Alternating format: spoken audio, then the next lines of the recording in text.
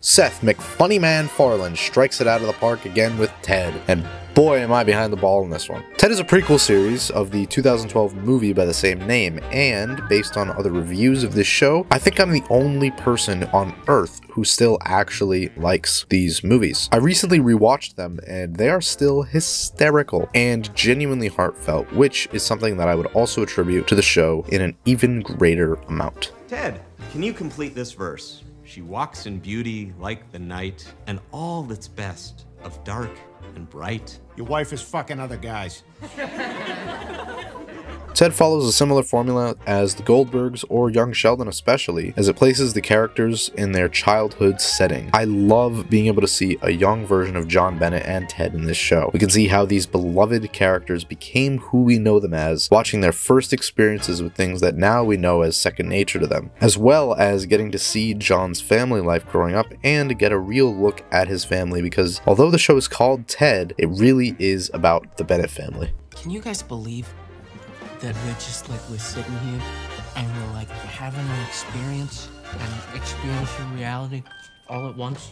Is there a fucking gas leak or something? It's no surprise that the creator of so many sitcoms knows the sitcoms inside and out, and as a result can use that formula in a very recognizable yet unique way to give each character a proper depth and emotion that gives this show real heart to it on top of all the comedy. Speaking of which, this show is absolutely hysterical. Not only do nearly all of the jokes land, but they also manage to avoid two major problems that Seth's humor often has. One is that his jokes rely too heavily on pop culture references, making them dated, which this show solves in a sort of situational way. Being set in the 90s, it inherently allows some leeway for it to make dated references. But another problem that Seth's work often has is that his characters are so generic that the jokes can be swapped between any of them. Perfect example is this scene that has been all over the internet. We all know about the nose job you had last year. You didn't fool anybody because we all remember before the surgery when you tried to kiss Danny Santucci and you poked his eye out. Now this scene, it works in Ted for two reasons. One, the context of the scene. John's mom is the new substitute teacher and he and Ted are trying to be supportive well, well the girl starts making fun of her. Thus, this response from Ted makes sense. And it also works as a joke that only Ted could make. If it had been Matty or John or even his mother, the joke just wouldn't work the same because it would be out of character. Here is a very similar joke from Family Guy. You know, Connie, I think I have a theory about why you're such a bitch. You see, Connie,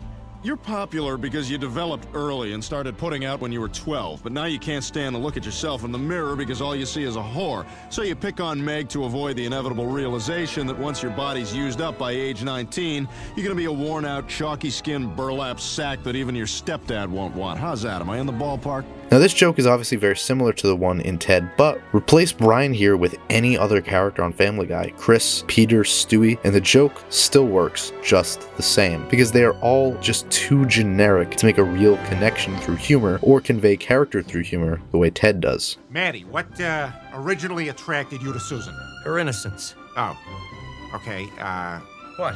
I already wrote that it's. It, uh, well, it's fine. Which leads me into one of the most important parts of the show, which is the characters. Every character has their own unique personality, and the show really gives you time to understand them. In the seven episode season, it has at least one episode where each main character can shine and have a relationship with another character. As a result, the show has a much wider appeal as it can relate to more people, and it staves off becoming formulaic and boring as it would if it were only focused on John and Ted. The opening scene, for example, gives us a good look at Ted and John and Blair's characters. Ted is rude and John always backs him up, and Blair is more of a self righteous liberal type.